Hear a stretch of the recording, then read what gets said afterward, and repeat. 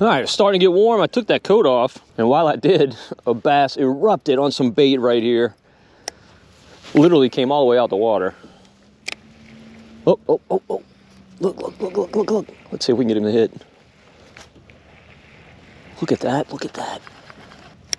That time he didn't come all the way out the water, but when I was sitting there taking my coat off, he literally came two feet out of the water. And there he is. There he is. Sorry, dude. You gave yourself away. Yep, you did. You did. You sure did, buddy. Look at this tank. Look at this tank. Oh, that's a big marsh bass. Look at this guy.